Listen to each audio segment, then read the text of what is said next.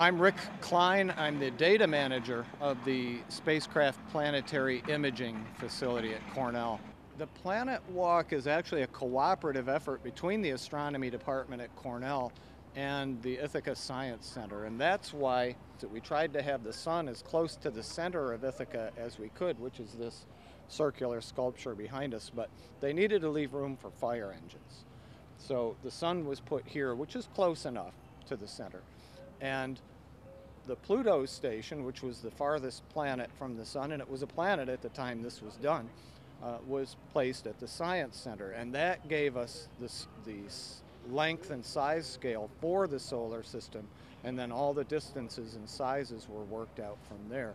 And sort of landmark areas um, in town uh, were chosen along those arcs of distance uh, to put the planetary stations.